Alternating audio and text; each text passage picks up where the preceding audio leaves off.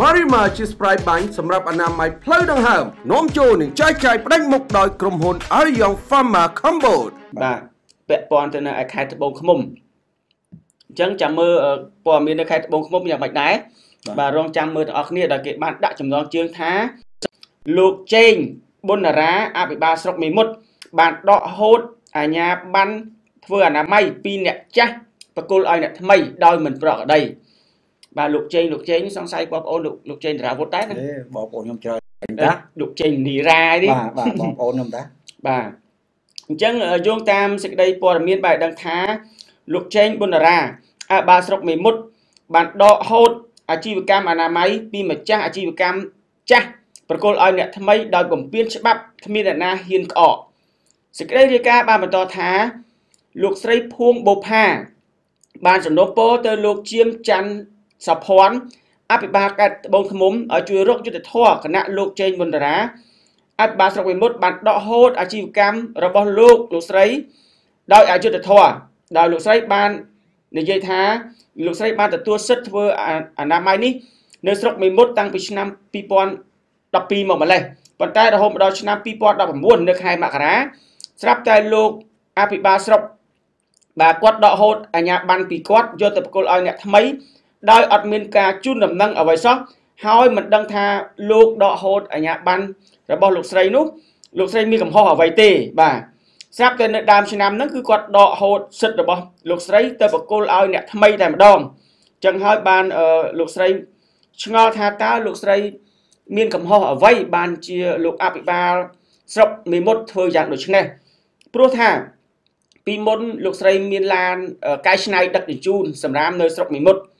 ប៉ុន្តែឥឡូវនេះលោកស្រីបានកំងឡានពីក្រៅប្រទេសមកដើម្បីបន្តអាជីវកម្មតែបែរជាលោកអាបាស្រុក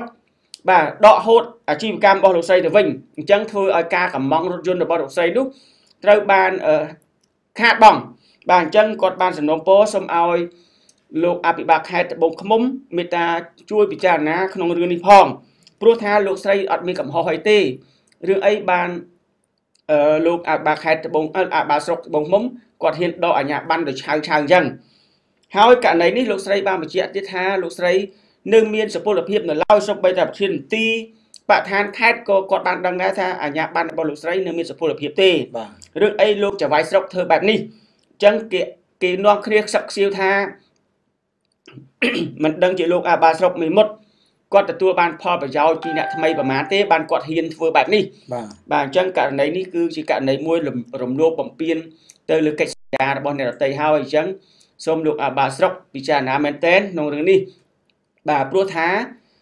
កិច្ចសន្យាឬក៏បតង់រកស៊ីអីនោះគឺលោកស្រីភួងបុផាគាត់នៅមានសុពលភាពនៅឡើយទេរឿងអីលោកឲ្យអ្នកថ្មីចូលទៅប្រមូលសម្រាមនៅក្នុងស្រុកក្នុងខេត្តទៀតបាទនេះគឺជាការសំណពររបស់លោកស្រីជាម្ចាស់អ្នកប្រមូលសម្រាមចាស់គាត់ឈ្មោះភួងបុផាបាទលោកជាតាការធ្វើកិច្ចសន្យាអ្វីមួយជាមួយ ធរមួយប្រជាពលរដ្ឋគឺសិតតែមាន ការដឹងឮរបស់ប្រជាពលរដ្ឋរបស់អាជ្ញាធរហើយបើក្រុមហ៊ុនគេឆ្លាតទេគេមានមេធាវីបតាប្រាពីលើកិច្ចសន្យានីមួយៗផងព្រោះការរស់ស៊ីប្រមូលសម្រាមមិនមែនរយៈពេលខ្លីទេអាចរយៈពេលច្រើនឆ្នាំ នៅក្នុងមូលដ្ឋាននៅក្នុងនីមួយៗបើលោកអភិបាលស្រុកលោកធ្វើរបៀបអញ្ចឹងធ្វើឲ្យប្រជាពលរដ្ឋយើងមានការអអន់ចិត្តជាមួយអាជ្ញាធរធ្វើឲ្យការ បាត់បង់កិត្តិយសរបស់អាជ្ញាធរខេត្តដែលឲ្យមន្ត្រីថ្នាក់ក្រោមធ្វើអំពើមិនល្អទៅលើអាជីវករដែលគេបានប្រព្រឹត្តមិនល្អឥឡូវនេះលោកស្រីគាត់កំពុងតែឆ្ងល់ថាគាត់មានកំហុសឆ្គងអ្វីដែលលោកបានដកអាជ្ញាប័ណ្ណពីគាត់ហើយជូនឲ្យទៅអ្នកថ្មីឥឡូវលោកសុំលោកអភិបាលស្រុកបង្ហាញអំពីកំហុសឆ្គងរបស់គាត់មកដល់យើងយើងនឹងផ្សព្វផ្សាយជូនលោកអភិបាលស្រុកដើម្បីឲ្យលោកស្រីអស់ចិត្តប៉ុន្តែបើលោកគ្មាន ការបង្ហាញទេយើងសូមឲ្យលោកស្រីបង្ហាញអំពីភាពកំសោយនៃការដឹកនាំរបស់លោកអាបាស្រុកហ្នឹងជូនមកដល់អនឡាញយើងយើងនឹងផ្សព្វផ្សាយជូនយើងមិនខ្លាចថាមន្ត្រីហ្នឹងមានតួនាទីមានខ្នងយ៉ាងណាទេ គឺយើងផ្សាយព័ត៌មានពិតឆ្លោះកញ្ចក់ជូនអាជ្ញាធរជូនរាជរដ្ឋាភិបាលដើម្បីកាត់សັດស្អុយនៅក្នុងអាណត្តិទី6នេះបាទរឿងនេះយើងមិនទាន់បានសុំធ្វើបទសម្ភាសជាមួយលោកអភិបាលស្រុក មេមត់នៅឡើយទេបាទបាទអញ្ចឹងនេះគឺជាព័ត៌មានដែលយើងបានទទួលមកខាងពីភាគីខាងលោកស្រីភួងបុផាបាទដែលគាត់បានមានប្រសាសន៍អញ្ចឹងថាគាត់ឆ្ងល់ណាស់នៅសុកសុករឿងអីលោកអាបាស្រុកដកអាញាបានរបស់គាត់ទៅប្រគល់ឲ្យអ្នកថ្មីបាទហើយគាត់មិនដឹងថាគាត់ខុសអ្វីផងគាត់ដឹងសោះអញ្ចឹងលោកអភិបាលស្រុកបាទបើលោកបានឃើញព័ត៌មានរបស់ទូទួលធានអឹមផ្សាយទៅហើយលោក មេត្តាធ្វើការបំភ្លឺឲ្យបានលឿនបំផុតព្រោះករណីនេះវាពាក់ព័ន្ធនឹងផលរបររបស់គេទីមួយពាក់ព័ន្ធនឹងកិច្ចសន្យាទៀតដោយលោកស្រីបានអះអាងថាគាត់នៅមានសុពលភាពនៅឡើយក្នុងការរកស៊ីផ្នែកប្រមូលសម្រាមនោះបាទហើយម្យ៉ាងទៀតវាអាចប៉ះពាល់នឹងលោកថាលោកបានទទួលផលប្រយោជន៍ពីអ្នកថ្មីក៏បានហ៊ានធ្វើអញ្ចឹងបាទបាទហើយសូម្បីតែខាងមធានទីខេត្តក៏គេអះអាងដែរថាលោកស្រីនៅមានសុពលភាពក្នុងការរកស៊ី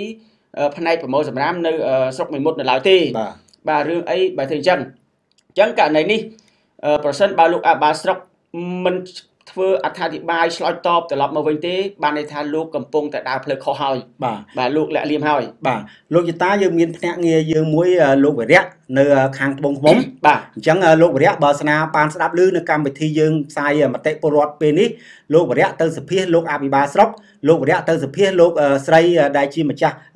ប្រមូលសម្រាមនៅក្នុងខេត្តត្បូងឃ្មុំដើម្បីផ្ដល់ព័ត៌មានមកឲ្យថ្នាក់កណ្ដាលយើងធ្វើការផ្សព្វផ្សាយមានភាពសក្តិយុទ្ធធម៌រវាងភាគីទាំងពីរខ្ញុំជឿថាមិនដែលមានរឿងអីលោកអាបាស្រុកធ្វើអញ្ចឹងទេប៉ុន្តែលោកធ្វើអាបាស្រុកមានសម្អាតសម្អាងសូមជូនឲ្យភ្នាក់ងារយើងបានជាផង ឯកសារយោងនានា លោកស្រីក៏អញ្ចឹងដែរបើស្នាលោកមិនបានធ្វើខុសទេ លោកមានយុទ្ធសាស្ត្ររហូតដល់កំងឡានចូលមកទៀតដើម្បីប្រមូលសម្រាមឲ្យវាកាន់តែតាន់ពេលវេលាកុំឲ្យមានការកកស្ទះនោះយើងសូមកោតសរសើរឆន្ទៈរបស់លោកស្រីក្នុងការចូលរួមអភិវឌ្ឍជាមួយអាជ្ញាធរមូលដ្ឋាន យើងមើលឡានរបស់គាត់មានពណ៌របៀបផ្ទៃមេឃនេះដូចស្អាត ស្អាតល្អជាងនៅឡាននៅរាជធានីភ្នំពេញក្រុមហ៊ុនសិនទីផងអញ្ចឹងក៏ខ្ញុំសូមកោតសរសើរមួយដែរអញ្ចឹងបញ្ហានេះវាមិនទាន់ហួសពេលទេបើសិនណាលោកអភិបាលស្រុកយល់ថាលោកស្រីគ្មានកំហុសទេលោកធ្វើដោយចង់បានទឹកតែទឹកស្ករទេ លោកសុំដកថយទៅ ហើយសុំលោកអភិបាលខេត្តឡើងថ្មី ដែលជាកូនថ្នាក់ដឹកនាំមួយដែរកូនអាដាមឈៀមយៀបខ្ញុំបានស្គាល់លោកតាំងពីនៅបាត់ដំបងអាបារោងបាត់ដំបងដែរខ្ញុំធ្លាប់ទៅគេងនៅផ្ទះអាដាមឈៀមយៀបនឹងច្រើន ថ្ងៃច្រើនខែដែរពីព្រោះកាលនោះខ្ញុំនៅធ្វើការនៅទូទួលអប្សរាអញ្ចឹងសូមអាដាម